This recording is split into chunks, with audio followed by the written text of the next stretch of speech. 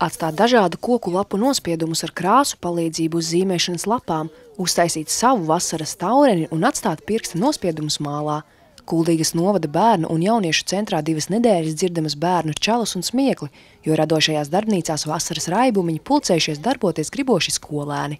Dienas, kad ir vairāk uz sporta aktivitātēm, iet pārgājienos, iet uz Kuldīgas pilsētas muzeju, par parku, iepazīst arī to teritoriju. Ir mākslas dienas, kad paši veido mākslas darbus, strādā ar māliem un ar dažādiem rokdarbiem. Tad mums augustā būs arī skautu skolotājs, kas parādīs dažādas aktivitātes, ko var brīvā dabā darīt mūzikas, arī mums pedagogi, kas strādā, kas vairāk ir dienas, kas ir vērstas uz mūziku. Nu, piekdienas mēs esam ieplānojuši tādā veidā, ka tās ir vairāk tā noslēguma diena, kad bērni kopā ar pedagogiem paši taisa mīklas, cep keksiņus, saldējumu taisa. Katrā grupiņā ir tiešām unikāla, kas sadraudzējās. Ir arī bērni, kas pie omītēm dzīvo, kas ir atbraukuši ciemos, iesaistās, un ļoti daudz bērni šogad ir, kas pirmo reizi šādās nodarbībās darbojās. Kuldīdzniece Rozālija Lindenblate arī pagājušo gadu apmeklējusi bērnu un jauniešu centra vasarā rīkotās aktivitātes. Es esmu iemācījusies draudzēties ar visiem cilvēkiem,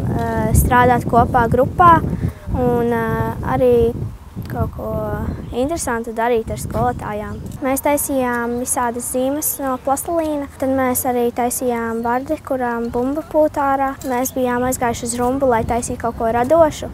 Pēc tam uztaisījām darbiņus, meitenes. Un tad tagad mēs zīmējām zīmējumus, un man ļoti patika viss. Kuldīdzniece Dārta Šenhova uz radošajām darbnīcām pieteikusies ar brāli, lai kopā apgūtu jaunas un noderīgas lietas. Es jauni iemācījos to, ka jādraudzējās ar visiem, jāsadarbojās arī grupās, jābūt laimīgai par to, ka, kas ir noticis.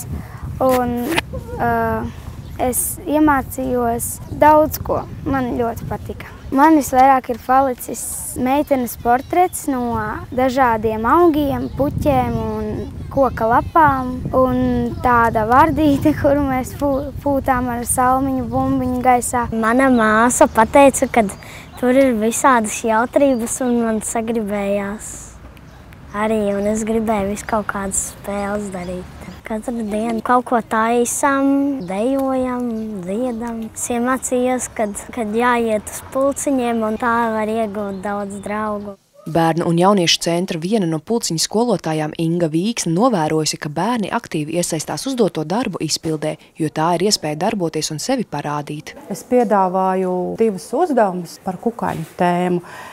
Pirmais uzdevums ir mēs zīmējam taureni, Es iedodu viņiem trafaretu, un viņi viņu pēc parauga mēģina savu spēju un varēšanu robežās izkrāsot. Un otrs uzdevums mēs pēc pudeli pārvēršam par lapseni. Nu, es domāju, ka strādājošiem vecākiem tas ir milzīgs atsloks, jo pieļauju domu, ka viņiem vienai lielai daļai ir jādomā par to, kur atstāt bērnus, pie kā atstāt bērnus, lai viņi nebūtu viena paša mājās. Ievērot visus drošības pasākumus, visas vasaras garumā notiks sešas radošās nedēļas. Aktivitātēs piedalās bērni vecumā no 6 līdz 10 gadiem. Radošās darbnīcas līdzfinansē Kuldīgas novada pašvaldība. Anna Bilbāne Matīs Lējas Skrundas televīzija.